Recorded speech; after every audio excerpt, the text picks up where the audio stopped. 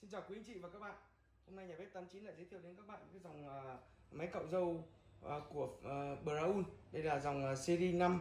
Uh, dòng này là model là 50 B4650 CS. Cái dòng này thì có cải tiến so với dòng uh, series 3 của Braun nó là đầu tiên là cản cải tiến lớn nhất của nó là được sản xuất trực tiếp tại Đức.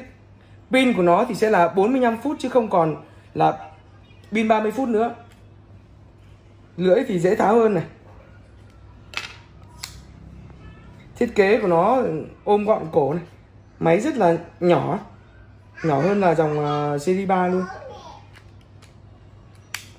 Cái bản này thì nó là bản đủ.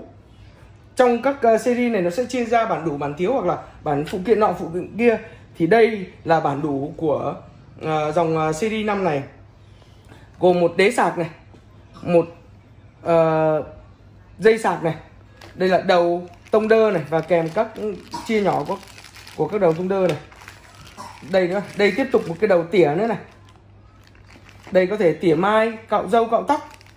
Một chổi này.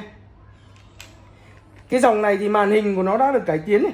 Màn hình của nó là màn hình uh, uh, led này.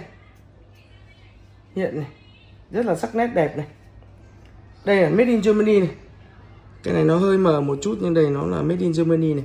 Pin thì là 45 phút. Dòng này thì à, đầu lưỡi cũng khoảng độ tầm 2 năm hơn 2 năm mình có thể thay. Tùy là cạo ít hay cạo nhiều. À, sạc thì tầm 3 đến 4 tiếng ạ.